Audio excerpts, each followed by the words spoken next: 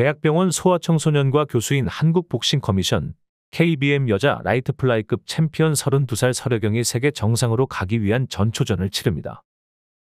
KBM은 서려경이 다음 달 9일 경기도 수원시 인재개발원 체육관에서 태국의 쿨라티다 쿠에사놀과 경기를 치른다고 밝혔습니다.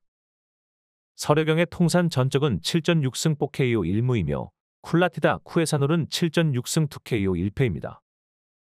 서려경은 지난 7월 현직 의사 신분으로 임찬미에게 8라운드 KO 승리를 거두고 한국 챔피언에 올랐습니다.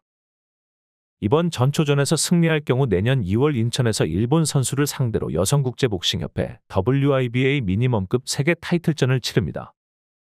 이어 4월에는 충남 천안시에서 4대 메이저 세계기구인 WBA, WBC, IBF, WBO 타이틀 가운데 하나에 도전한다는 계획입니다. KBM 측은 서려경의 목표는 국내 복서 최초의 메이저 4대 기구 통합 챔피언이라고 밝혔습니다.